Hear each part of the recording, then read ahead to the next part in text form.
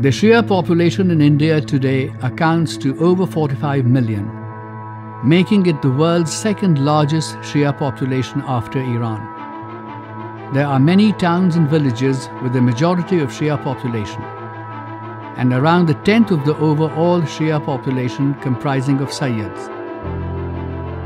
Many of these Sayyids migrated to the Indian subcontinent between the 11th and 16th century to escape the persecution they were facing as direct descendants of the Prophet. My name is Imran Imam. My maternal grandfather was the last Raja of Mahmudabad, whose task was to promote cultural aspects of all religions, including Islam, in the Middle East and in the subcontinent of India.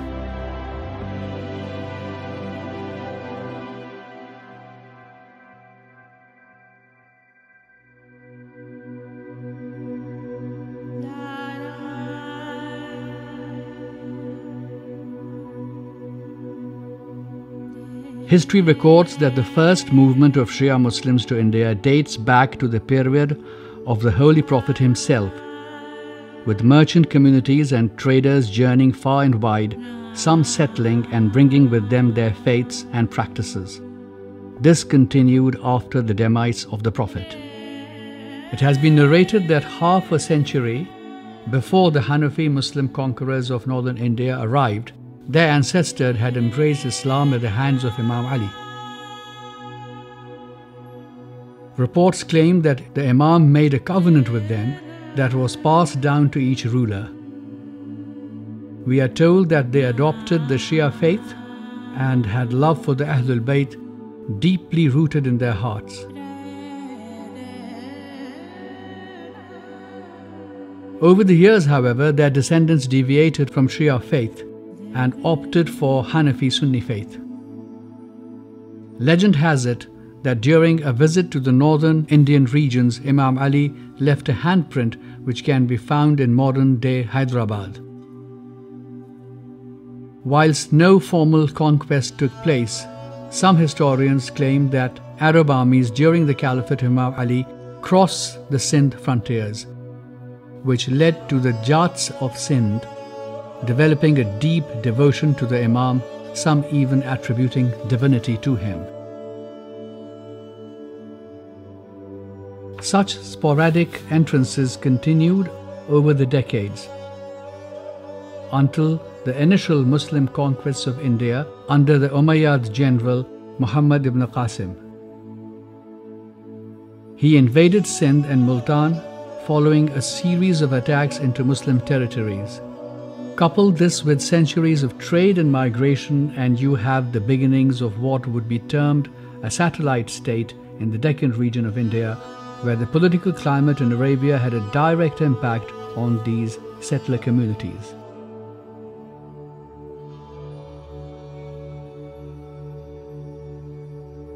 The Shia communities, in particular, featured prominently in these migrations particularly those of the descendants of the Prophet and his family, who were escaping continuous persecution at the hands of both the Umayyads and the Abbasids. One of the largest migrations was during the rule of Hajjaj ibn Yusuf al-Thaqafi, who oppressed and killed the Shias in large numbers. Those that could escape, particularly the Sadat, traveled towards the subcontinent.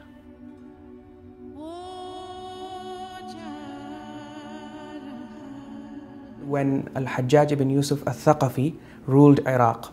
He unleashed a reign of terror uh, specifically on the followers of the school of Ahlul Bayt, which prompted them to migrate and spread out.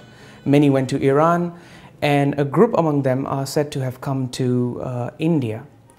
And in fact, the raid of Muhammad ibn al-Qasim, the attack of Muhammad ibn al-Qasim uh, on India in 711, one of the motivations for that uh, attack is said to have been the fact that Al-Hajjaj recognized that India had become a sort of a safe haven for many of the followers of the school of Ahlul Bayt who had migrated and was, had settled in India. It is said that it is during the uh, uh, late uh, Umayyad and early Abbasid period itself that the Shi'is started making their entry into the region of Sindh.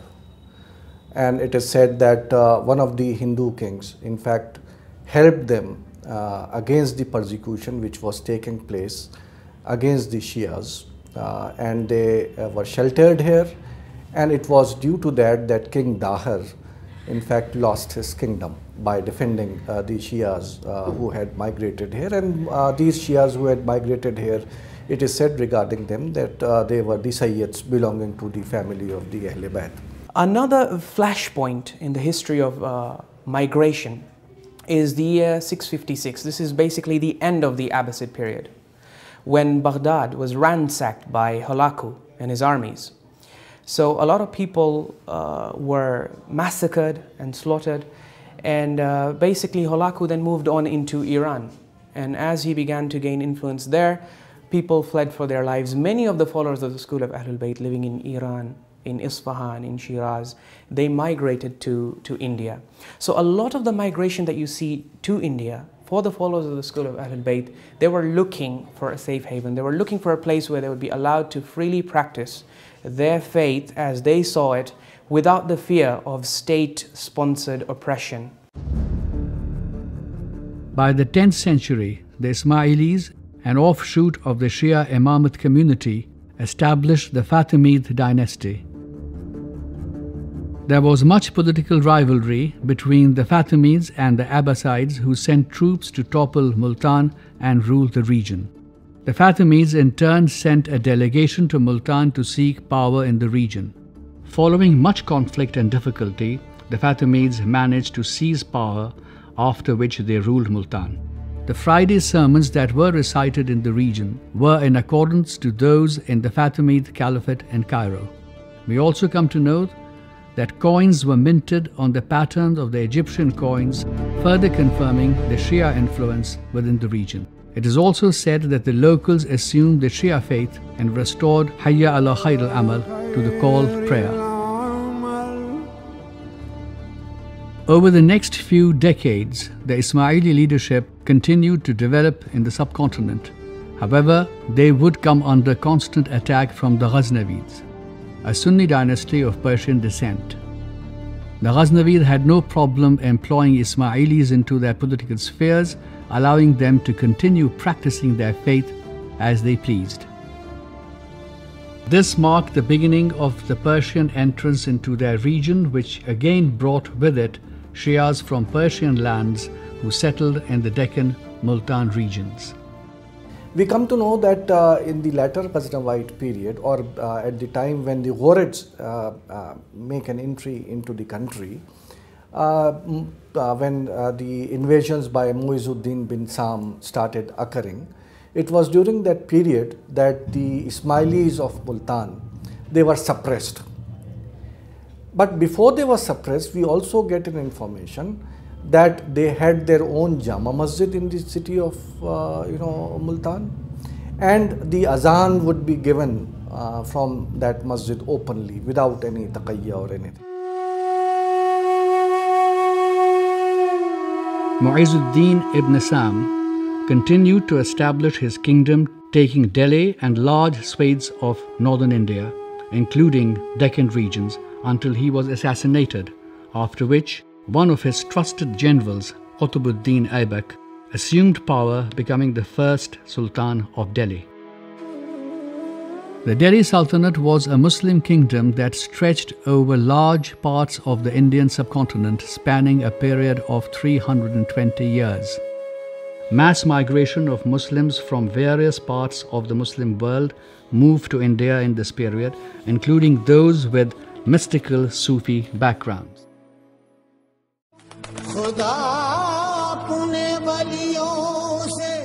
The spread of Shiism was cultivated by the influence of Sufi saints who preached about the Imams and their merits. With the history evolving over 1000 years in India, it is said that mystic traditions became widely visible during the 10th century of the Delhi Sultanate. More prominent Sufi saints emerged in the 12th century with people like Muinuddin Chisti moving to India during this period.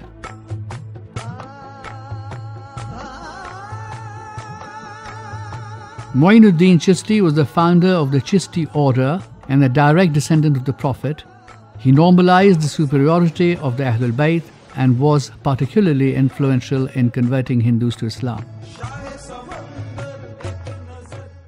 I have no doubt that many of them, if not all, were Shias in Taqiyya, the Sufi masters. And you can vouch from the, as you have seen, from their, their uh, visit to their tombs and from their books. Muinuddin Chishti is buried in what is known as Ajmer today. His shrine, the Ajmer Sharif Dargah, is situated at the foot of the Taragarh hill, consisting of several white marble buildings arranged around two courtyards. It is estimated that around 125,000 pilgrims visit the site every day.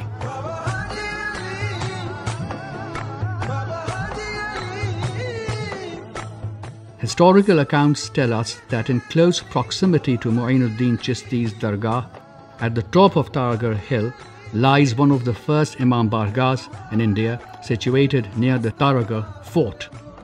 While Sufis propagated a metaphorical esoteric understanding of Islam, there emerged movements which also held a literalist totalitarian ideology.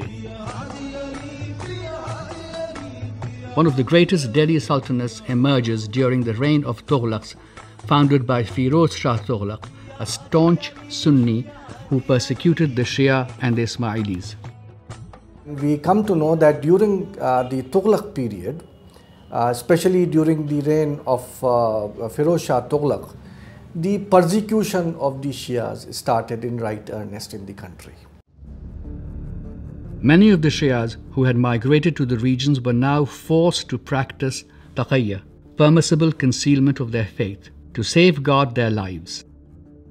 During the same period, Muhammad ibn Tughlaq, son of the founder of the Tughlaq dynasty, marched south of Delhi to take control of the Deccan region he appointed Alauddin Bahman Shah to take charge of the region.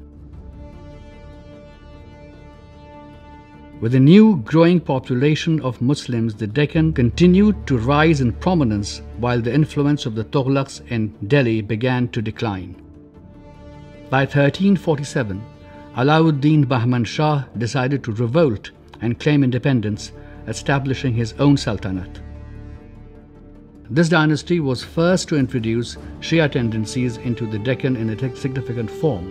While they openly professed to be Sunni, some historians believe there may have been elements who were Shia living under Taqiyya. The Bahmani sultans had a close association with the descendants of the Sufi master Shah Na'matullah Wali, who successfully promoted the Wilaya of Imam Ali as the master of all Sufi paths as well as introduced Muharram and Ashura ceremonies. A number of Imam Bargahs were also built by the Bahmani kings. In this vein, many Shias arrived in India during this period. Many Hindus also converted to Islam. Through a period of 18 kings, the Bahmani Sultanate maintained rule of the Deccan. From 1490 onwards, five dynasties which later came to be known as the Deccan Sultanates, broke away and claimed independence. They included the Adil Shahis and Nizam Shahis, and many years later, the Qutb Shahis. Now in power, they established Shiism as the de facto state religion, mirroring the Safavids in Iran.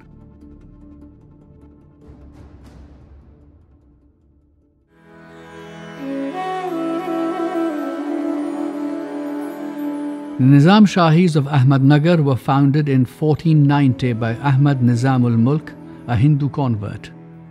During their rule, a very notable figure emerged from Shah Tahir.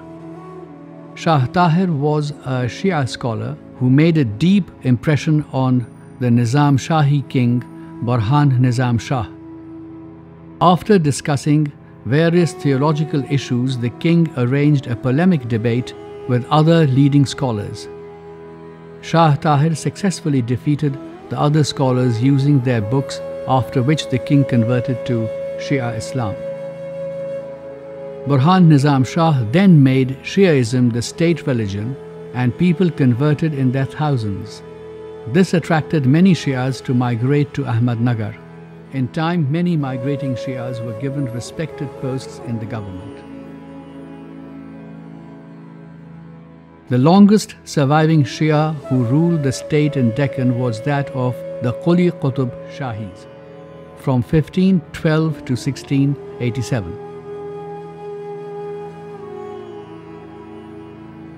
When the Bahmani kingdom began to disintegrate, Quli Qutb Shah claimed independence and established Golconda as his capital. Quli Qutb Shah, the founder, was an Iranian from Turkoman tribe. As Persian, Shia observances such as Ashura were commemorated en masse. Many great scholars, poets, historians, religious divines, and Sufis from Iran were invited to settle down in the kingdom. This encouraged other Shia to migrate to Golconda, the capital. Various historians have left accounts narrating the zeal of the commemorations with mosques and Imam Bargahs built to remember Imam Hussein alayhi salam. The Qutb Shahis were known to be highly educated, patronizing further learning in the arts and sciences, attracting many members of the Persian nobility to their kingdom.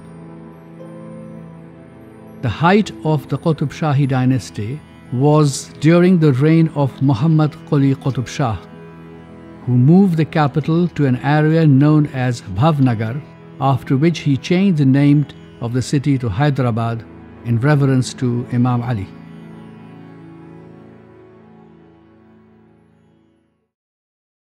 Muhammad Quli Qutb Shah appointed Allama Mir Muhammad Mu'min as his prime minister. Being an architect and a pious scholar, he was asked to design the city according to the Holy Quran.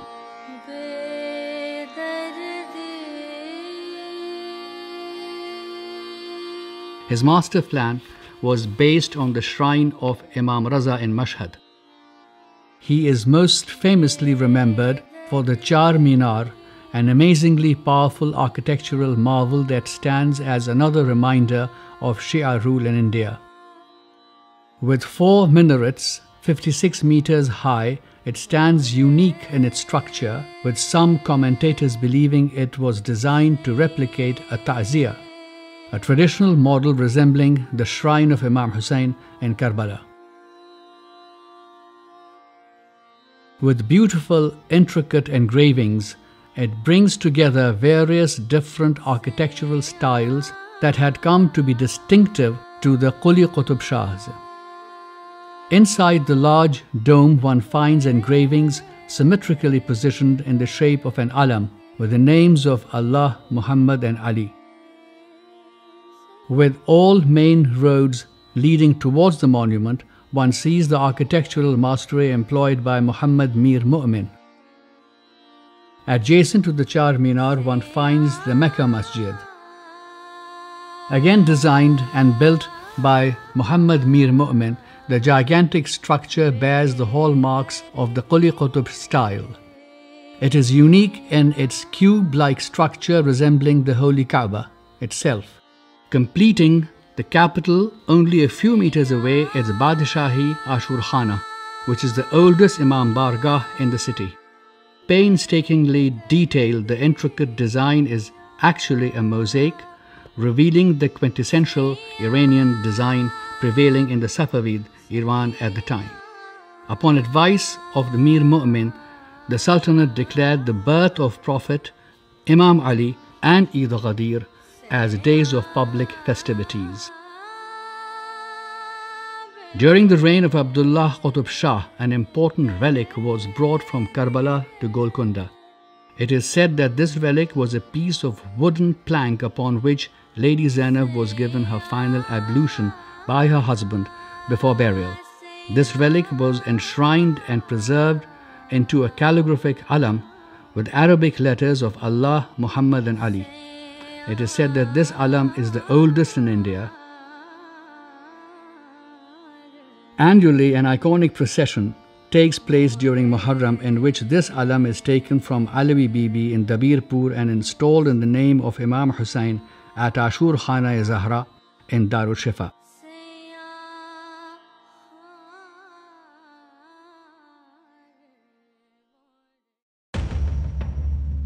While Shias governed regions in the Deccan, in Delhi a new kingdom was emerging.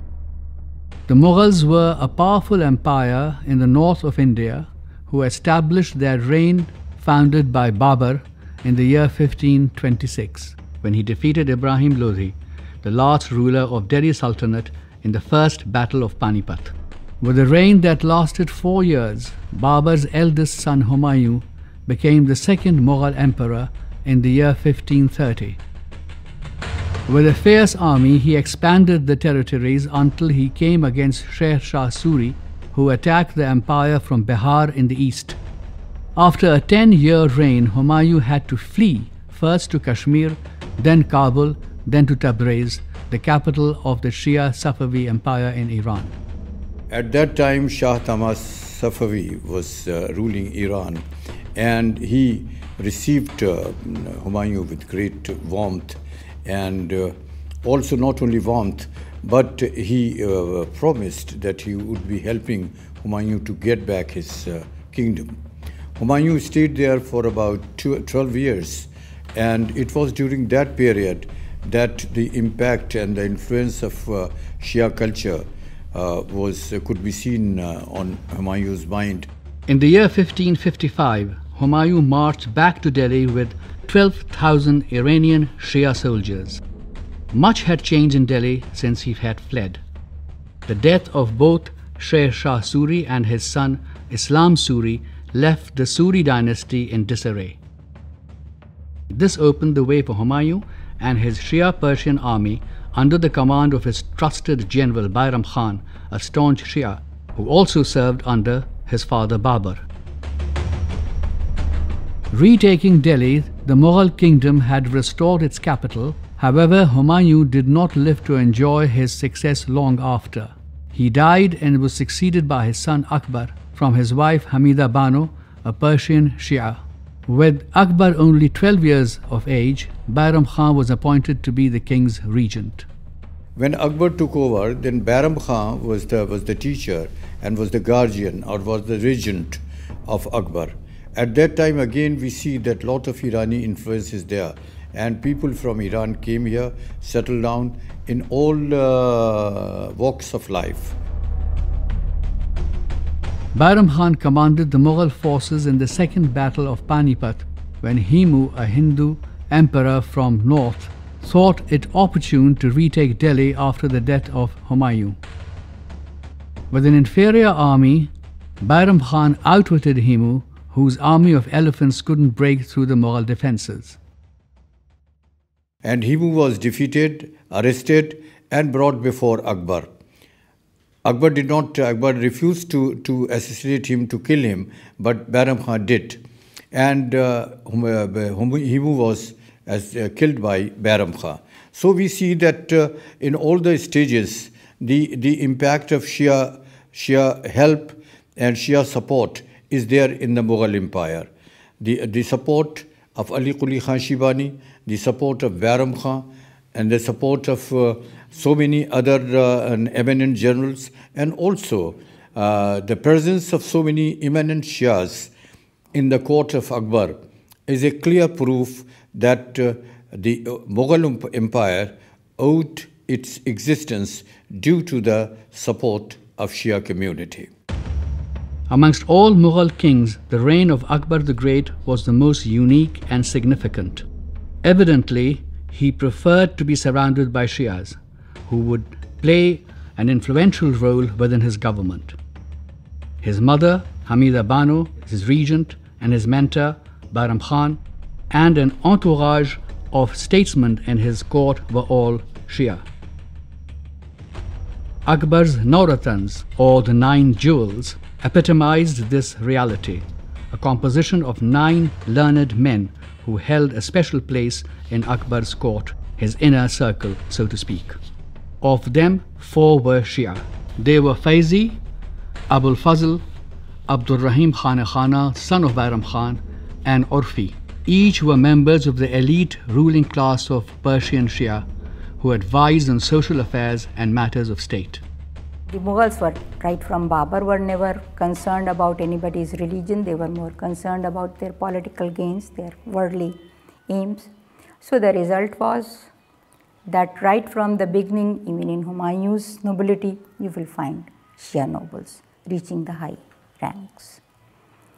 And under Akbar, this trend further increased. During the period of Akbar, uh, we find that the Shias actually started coming into their own.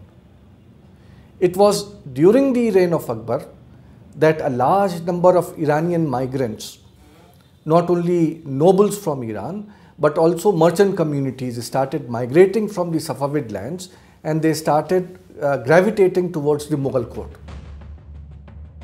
Emperor Akbar was a devout follower of Shah Muinuddin Chisti, whose tomb he visited on foot every year. When his wife, Maryam Zamani Begum, was pregnant with Jahangir, he sent her to live in the Zawiya of Sheikh Salim Chisti and then named his son Salim upon his birth after the noble saint. Emperor Akbar, you know, he was illiterate. I mean, he, but when he, uh, when people recited the poetry of Rumi, he used to cry, you know. So it was really the poetry of Ishq that appealed to him. And he told his people that if you want to become better human beings, you have to read Rumi, you know. The aptitude and ability of the Shia during the Mughal period was further epitomized by Qazi Nurullah Shustari, also known as Shahid Salis. His story becomes an integral part of the Shia narrative in India as we know today.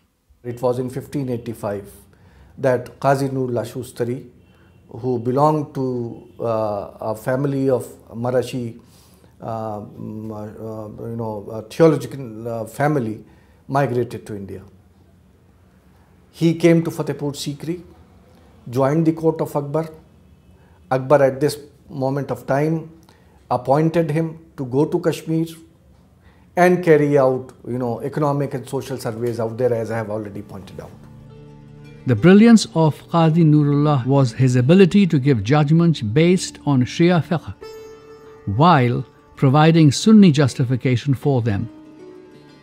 Uh, what we come to know is that this was the period when the Shia theologians started openly professing their faith as well as writing books on Shiism. In fact, Qazi Nurullah Shustari wrote Ihqaqul Haq, which was uh, a counter to a large number of works which had been written as allegations against the Shi'i philosophy. We can say that Qazi Nurullah Shustari's works were the first in the Indian subcontinent which were taking cognizance of the attacks on Shiism. In fact, Qazi Nurullah uh, uh, Shustari goes on to argue that there is no place as good as Hindustan to profess the faith of Shiism in India. The 16th century became a time when sectarian polemical discourse had reached a peak where works written against Shiaism were becoming widespread throughout the Muslim lands. These books were making their way to India, where the pressure on Shia community was growing. When Akbar passed away and Jahangir ascended the throne, the climate changed slightly. Many of the prominent Persian Shias who held sway in Akbar's court had either passed away or had resettled elsewhere likely in the Deccan where Shias were taking control and ruling independently. In such a climate, the orthodox Sunnis were becoming increasingly prominent and influential. Qazi Nurullah, who had a senior post, was targeted by these individuals. They would frequently circulate his polemical writings to undermine his position. Soon Qadi Nurullah found himself isolated as climate inside the court became unconducive. In 1610, at the age of 70, Qadi Nurullah was executed by flogging. Although the exact reason behind his execution is unclear, many speculations and reports have been made. One of the more prominent accounts state that he was executed for his polemical work Ahqaqul Haq, which defended Shia Islam. Ahqaqul Haq was presented as evidence against him and he was declared a heretic. This piece of work would have borne Qazi Nurullah a number of enemies from the Sunni Orthodox who would have plotted against him. Their influence grew after Akbar's death, and it is likely that they convinced Jahangir that Ahqaqul Haq was a text that had divided the community, sowing seeds of enmity and disunity. Qazi Nurullah goes down in history as one of the most prominent figures who defended the faith like none other. The wife of Jahangir, Nur Jahan, was a key Shia figure during the reign of the Mughals. Nur Jahan was a strong, charismatic, well educated woman who dominated their relationship. She became the most powerful and influential woman at the court for over 15 years when the Mughal Empire was at the peak of its power and glory. She was the only Mughal empress to have coinage struck in her name and often held court independently when the emperor was unwell. On most occasions, the emperor sought her views on matters before issuing orders. Shiaism gained further ascendancy during this period, with Muharram rituals being widely practiced. She goes down in history as one of the most prominent Shia influences on the great Mughal Empire. Another Shia empress who left her mark is Mumtaz Mahal, the wife of Jahangir's son Shah Jahan. The emperor loved his wife so much that upon her passing, he commissioned the Shia Persian architect Ustad Ahmad Lahori to construct a tomb over her grave, a construction that took 21 years to build. The Taj Mahal is a World Heritage Site known as the jewel of Muslim art in India and one of the universally admired masterpieces of the world's heritage. The son of Mumtaz Mahal, Aurangzeb took over from his father. He was distinctly Sunni with orthodox tendencies, unlike his brothers and forefathers.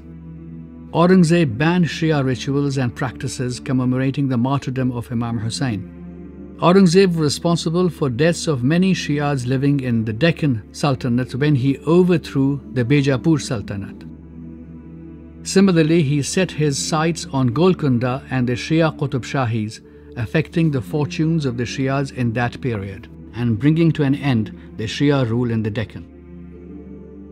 During Aurangzeb's reign, the empire gained political strength once more, but his religious conservatism and intolerance undermined the stability of Mughal society. At his death in 1707, many parts of the empire were in open revolt. This gave rise to the emergence of several Shia kingdoms under the Mughal Empire.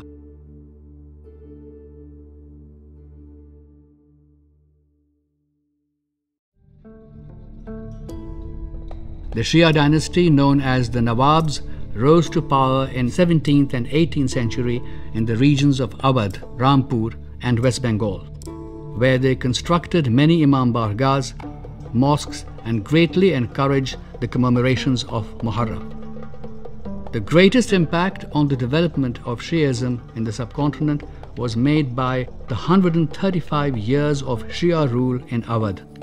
In 1722, Muhammad Amin Musavi the Mughal governor of Awadh obtained de facto independence from the Mughals. He was a Persian Shia whose wealthy aristocratic family descended from Imam Musa al Kadhim. He declared Shiism as the religion of the state and spent generously on the development of Shia seminaries.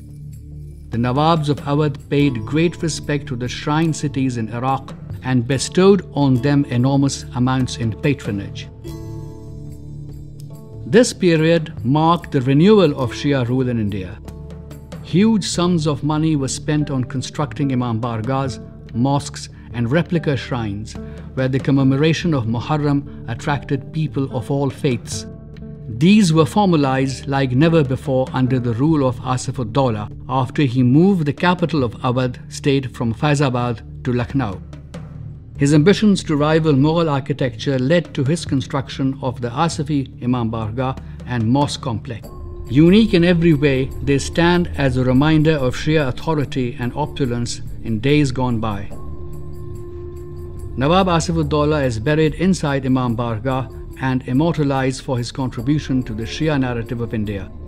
Nawab Asif ud-Dawla, he was the main mentor as far as the Lucknow is concerned and the spreading of Shiaism amongst different sections of society and different communities different religions.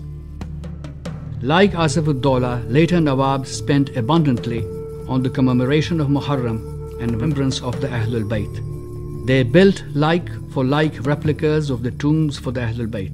For the vast majority of Shias unable to travel to Iraq to visit the holy shrines, these replicas provided an opportunity for them to pay their homage and respects. As Nawabs were adherent Shia, Many of those living under them also embraced the Shia faith.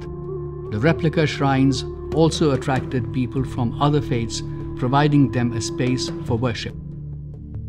Shia teachings and practices were also spread through poetry and public recitations of eulogies and marsiyas in praise and commemoration of the Ahlul Bayt and their tragedies.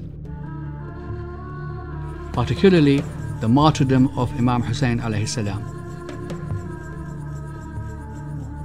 Poets were generously patronized, and even a number of Nawabs could write poems in remembrance of the Ahlul Bayt.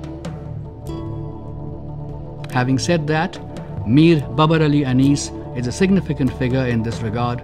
He is widely held for his timeless poems praising the Ahlul Bayt. They have been recited by people of different faiths to this day. In this way, Poetry and Marsiya recitations became an integral wheel in the spread of the love of the Ahlul Bayt. The Nawabs patronized hundreds of scholars who would join the seminaries for further religious learning. The most prominent of these scholars is Ayatullah Sayyid Dildar Ali Nasirabadi, who reached the status of ijtihad after studying for many years in Najaf and Qom. On return to Lucknow in 1755, he established the first ever Shia Friday prayer in India and he introduced the foundations for the Usuli jurisprudential school. From there, Shiism gained a real ascendancy. He authored a number of books, including Imadul Islam, his magnum opus, a theological work where he refutes the opinions of Fakhruddin Razi, the leading Sunni theologian. Today, the direct descendant and spokesman for the Shia community in Lucknow, Sayyid Kalb Jawad, continues the legacy of his ancestor Ayatullah Sayyid Dildar Ali and leads the Friday prayers in Asifi Masjid. Sayyid Dildar Ali Ghuframab came back from Najaf and established the powerful Hauza in Lucknow.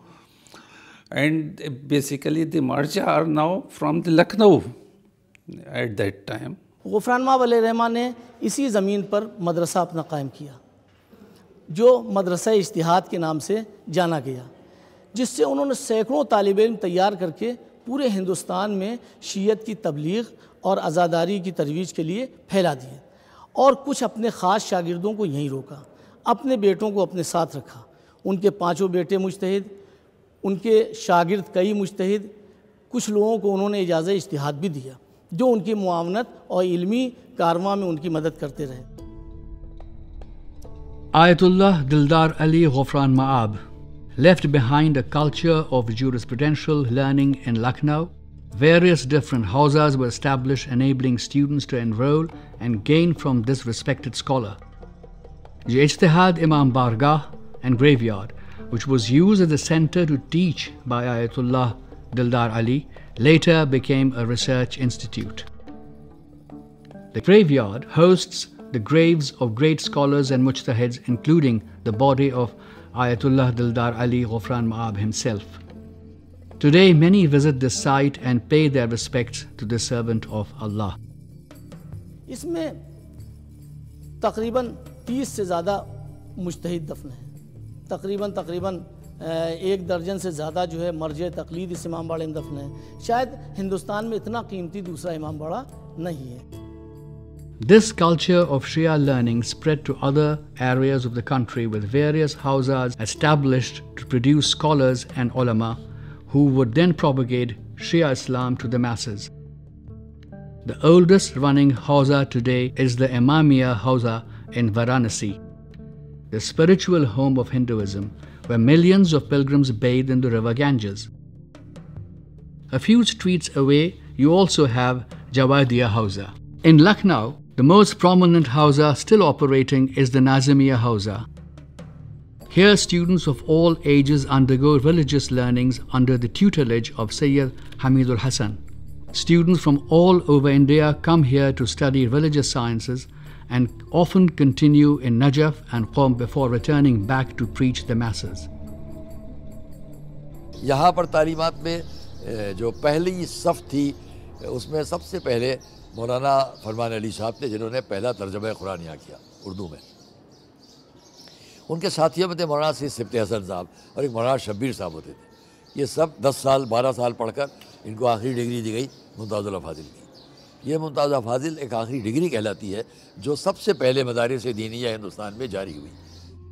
Despite the numbers and the ongoing classes, the current system of learning is a far stretch from the height at which Lucknow once was. The Lucknow Hauza never reached the heights of Najaf or Qom, however, they managed to produce scholars of similar caliber. In the late 19th century, one of the most notable was Mir Hamid Hussain, a renowned jurist and theologian who became most famous for his book Abaqatul Anwar fi Imamatul A'immatul Athar, a reply written in Persian against the polemic book At-Tuhfatul Ithna Ashari by Shah Abdul Aziz al-Dehlavi. Mir Hamid Hussain dedicated his book to defending the concepts of imama looking at two key sources, the Quran and Hadith. While his work on Hadith has been published, his work based on the Quran still remains in handwritten form. Mir Hamid Hussain had also worked tirelessly to gather original manuscripts of key religious texts and Hadith collections. They are now collected in what is known as Nasiriya Library. यहाँ एक किताब लिखी गई थी तोहफ़ा جس میں شیعہ مذہب کو رد کیا گیا تھا۔ اس کے جواب بہت لکھے گئے۔ میرے دادا کے دادا نے شاور قدسوس لکھی، مفتی سید محمد قلی خان صاحب نے۔ ان کے بیٹے حامد حسین صاحب نے اس کے جواب میں ابقات اس، اسی کے بعد ابقات الانبار لکھی جو بہت زیادہ مشہور ہوئی۔ اور ولایت علی ابن ابی طالب کے سلسلے میں سب سے بڑی سورس بک مانی جاتی ہے۔ آیت اللہ عبد الحسین امینی نے جب الغدیر لکھی تو پھر ان کو یہاں تشریف لائے اور لمبے عرصے یہاں کام کرتے رہے اور ان کو میرے والد کتابیں نکال نکال کے دیتے رہے، اس سے انہوں نے حوالے مرتب کیے، الغدیر لکھی۔ The Nawabs of Awadh seized power of Rampur with military assistance of British East India Company as they defeated and drove the Rohilas out of their former capital of Bareilly in Rampur. This was established by Faizullah Khan in 1774. But a key figure during the reign of the Nawabs of Rampur was Nawab Kalbe Ali Khan, who was literate in Arabic and Persian. Under his rule, the state did much to uplift standards of education. He is also known for building the Jama Masjid in Rampur at the cost of 300,000 rupees. Nawab Hamid Ali became the new ruler in 1889 at the age of 14. Many new schools were opened during his reign and lots of donations were provided to nearby colleges. He donated 50,000 rupees to Lucknow Medical College and in 1905 he built the magnificent Darbar Hall within the fort, which now houses the great collection of rare manuscripts held by the Rampur Raza Library. According to the Raza Library, one of its richest and finest collections are the early 7th century Qurans, which are said to be handwritten personally by Imam Ali, Imam as-Sadiq, and Imam Ali Rida, peace be upon them all. Raza Ali Khan became the last ruling Nawab in 1930. On 1st of July 1949, the state of Rampur was merged into the Republic of India. Rampur today presents a slightly decayed appearance. The palaces of the Nawabs are crumbling, as are the gates and walls of the fort. However, the library remains a flourishing institution of immense value to scholars from all over the world. In the early 18th century, the Nawab Nazims of Bengal arose. An important figure during rule of the Nawabs of Bengal was Mirza Muhammad Sirajuddaulah, who built the old Nizamat Imambara. He is said to have bought bricks on mortar and laid foundations of the buildings with his own hands. The old Medina Mosque, which still stands today, near the Big Ben of Murshidabad was built on a plot that was dug to a depth of 6 feet and refilled with the soil brought from Mecca so that the poor members of the Muslim community could have an experience of Hajj. When old Nizamat Imambara caught fire, Nawab Nazim Mansur Ali Khan built the present Nizamat Imambara also widely known as the biggest Imambara in India. Today, Nizamat Imambara is an impressive piece of architecture being 680 feet long. It stands opposite the Hazarduari Palace situated on the banks of the Hooghly River. 200 kilometers south of Hazarduari Palace of Murshidabad is Hooghly Imam Bargah, an architectural splendor of 19th century. Its construction was initiated by Muhammad Mohsin in 1841. Located by the western bank of the Hooghly River, it stands with fading grandeur, whispering story of its glorious past. A particularly outstanding aspect of this Imam Bargah is its clock, which is placed at the middle of the twin towers erected upon the doorway of the main entrance. The huge clock was brought by Sayyid Karamat Ali, which was manufactured by Messrs. Black and Hurry Company, the same makers as that of Big Ben in London. Another architectural marvel which is based in the heart of Hyderabad is the Azakhana Zahra. The magnificent structure built by the Nizam Mir Usman Ali Khan to perpetuate the memory of his mother Amatu Zahra Begum in the year 1941. The Nizam himself was a Sunni Muslim, however, his mother was a Shia who he dearly loved. Azakhana Zahra was initiated by a group of dedicated members of Shia community who wanted to mark the 1300th anniversary of the martyrdom of Imam Hussein salam. They struggled to raise the funds needed but found in Mir Usman a man who was grieving and generous. Today, Azakhana Zahra hosts programs of commemoration and lamentations during all events, welcoming up to 10,000 mourners at a time.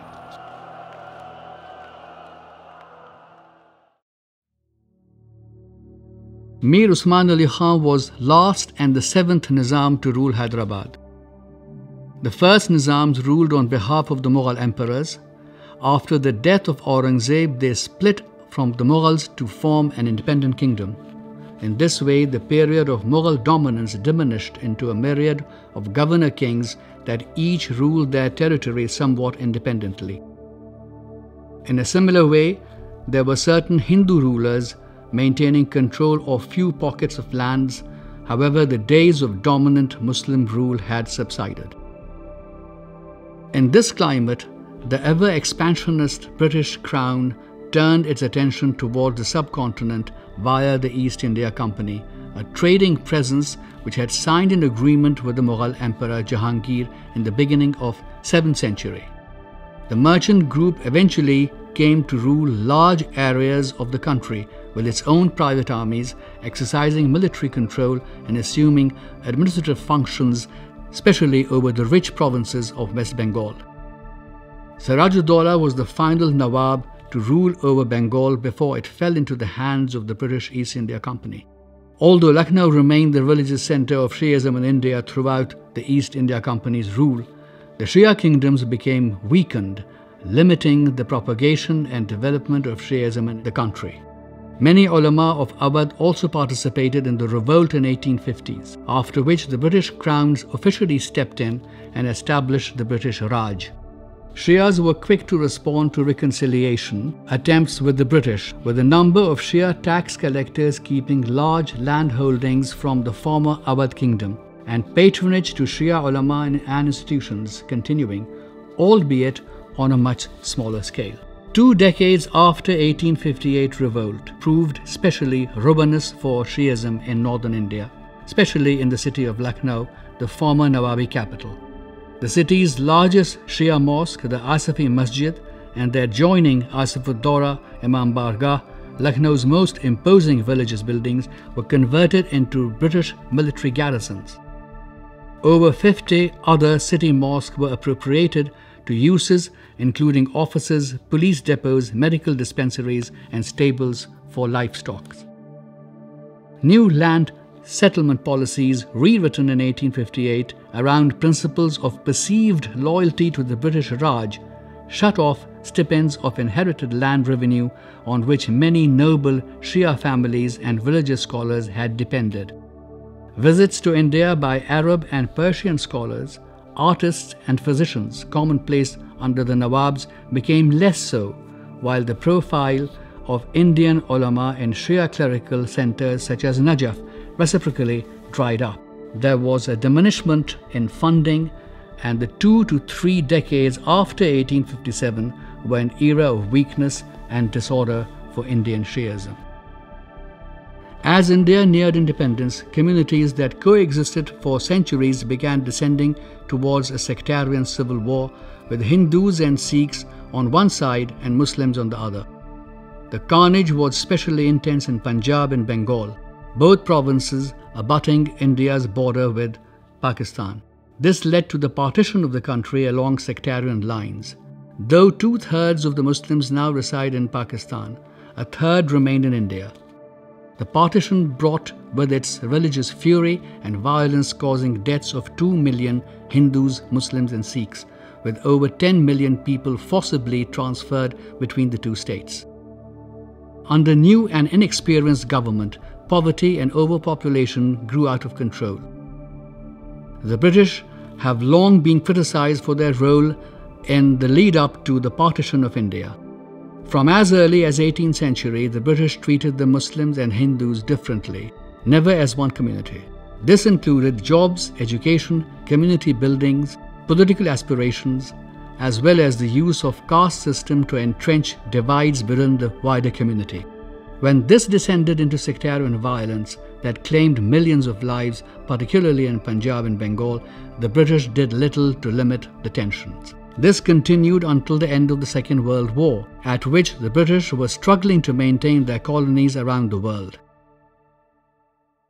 In 1947, an Act of Parliament finally confirmed the transfer of power into the hands of India a country still plagued by widespread sectarian discord and severe economic woes. Muhammad Ali Jinnah, a Shia of Khoja ancestry, was the leader of the Muslim League at the time, had been calling for an independent Muslim state for decades. He had long cooperated with the British, and after a short while, British lawyer Cyril Radcliffe was entrusted to legalize the partition of India. On August 14, 1947, Pakistan and India were now independent state with Khoja Shia Muhammad Ali Jinnah, the founding father of Pakistan, who served as the Governor General until his death in September 1948. A significant number of members of the All India Muslim League, which struggled for independence, were Shia. Prominent amongst them were Sayyid Wazir Hassan, Sayyid Karamat Hussain, Hamid Ali Khan, Raja Sayyid Abu Ja'far of Pirpur, Maharaja Sir Muhammad Ali Muhammad Khan of Mahmudabad, Sir Sayyid Ali Imam, Sayyid Hassan Imam, Nawab Hamid Ali Khan of Rampur, Sayyid Amir Ali, Agha Khan, Muhammad Amir Ahmad Khan, the last Raja of Mahmudabad, and above all, Muhammad Ali Jinnah.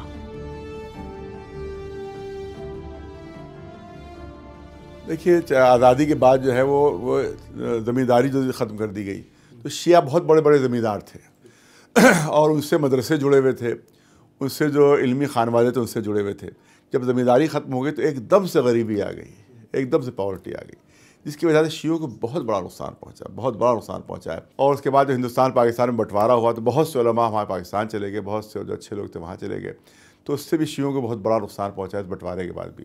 One of the sad things that happen was sad for us is that a number of people from this region migrated to Pakistan and they tended to be from the elite and what I mean by elite is not a class elite, but an intellectual elite also. So poets, lawyers, engineers, doctors, and so on, they all went to Pakistan and to Karachi in particular. Uh, and that left a vacuum here. Uh, some families stayed, stayed back. Um, my, my grandmother stayed here and my father uh, stayed in India. But the families were few and far between, and because uh, culture, obviously, to this day, um, whether it's Western culture or aspects of you know modern art and so on. All these things require patronage. And what happened with the colonial period and then uh, the post-colonial period after independence was that old structures of patronage um, disappeared. And so a lot of the arts, a lot of the skills, a lot of the literature, a lot of the people who were keeping these things alive were often made to, um, to for example, uh, push a rickshaw for a living um, or to do manual work and so on because that patronage had gone. The 45 million Shias in India today make up roughly 4% of the entire population. While their numbers constitute the second largest Shia population around the world, they remain a minority within a minority due to the size of the entire population. Shias can be found in all major cities as well as smaller pockets up and down the country. In this way, they lack a coherent formation and remain weak politically and economically. Access to education and poverty are amongst many widespread issues today. पहली बीमारी है जहालत दूसरी बीमारी है गुर्बत बदकिस्मती से यहाँ के शिया बहुत ज़्यादा इन्हीं दो बीमारियों का शिकार है लखनऊ में तो आप हालात थोड़े गनीमत देख रहे हैं आप बंगाल में जाकर देखिए बंगाल के शियों का हालात क्या इतने गरीब हैं you cannot even imagine about their poverty. There are innumerable organizations in India aiming to help the community, amongst which charity funded orphanages play a vital role in providing care, housing, and education to destitute children. There are also many Shia schools in India, as well as colleges that have established to help the poor families while providing religious education in an Islamic environment. Education is at the heart of the efforts to revive the strength and influence of the Shia community. This includes the renowned Aligarh Muslim University, which was founded by Sayyid Ahmad Khan, which was patronized by members of all faith, including the Shia community, particularly by Maharaja Sir Muhammad Ali Muhammad Khan of Mahmudabad. The Department of Shia Theology of the Aligarh Muslim University is the only specialized center of Shia studies in India and is held in high esteem not only in India but also in Iran, Iraq, and other countries.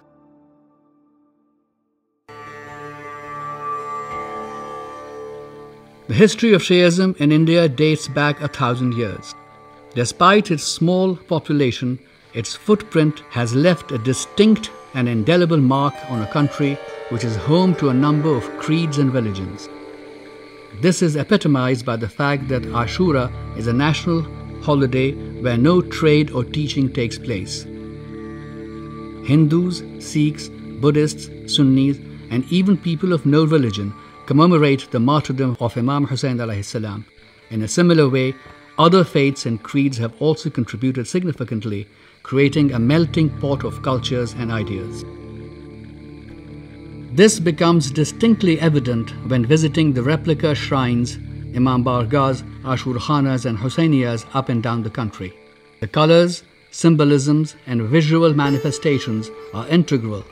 The alams, taziyas of replica shrines are everywhere, allowing a distinct sensual relationship between the devotee and the place of worship. This dynamic is seen in other temples, dargahs, and places of worship from different religions within the country.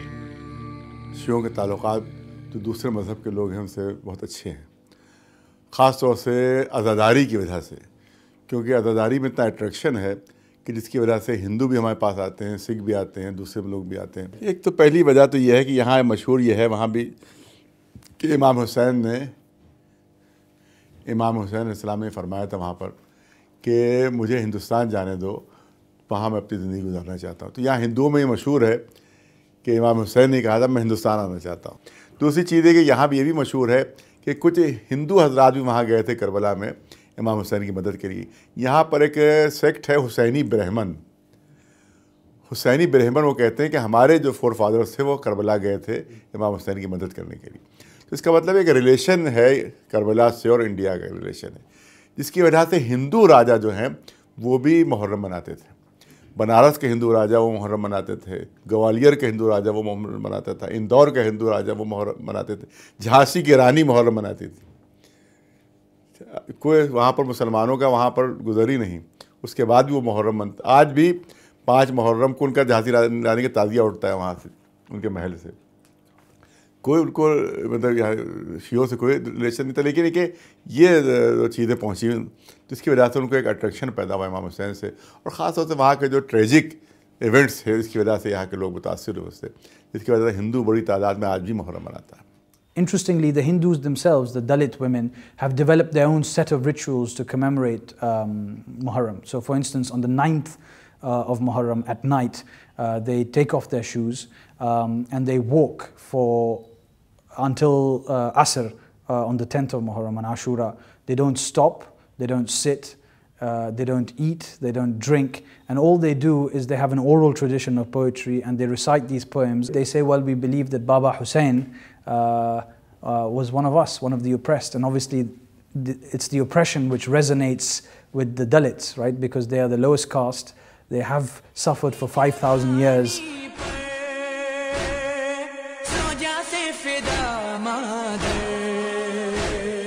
It is quite clear that over time the society, its cultures, and its norms have rubbed off on the migrating nations and their rituals. But what's unique is the way in which the indigenous faith groups also come to the Shia replica shrines and Imambaras to pray and worship in the name of the Imam. Now heed what happened on that awesome day of martyrdom, what grief and sorrow and what tribulations then befell. Those thirsty, starving, steadfast souls devoted thus to God, who sacrificed their precious lives in service to His cause. Each one of them was such a faithful friend without bar. There never will be such a Lord, nor ever followers such. माजरा सुबह शहादत का बयां करता हूँ رنج و اندوہ و مصیبت کا بیاں کرتا ہوں، تشنکاموں کی عبادت کا بیاں کرتا ہوں، جانساروں کی اطاعت کا بیاں کرتا ہوں۔ جن کا ہمتا نہیں، ایک ایک مصاحب ایسا، ایسے بندے نہ کبھی ہوں گے، نہ صاحب ایسا۔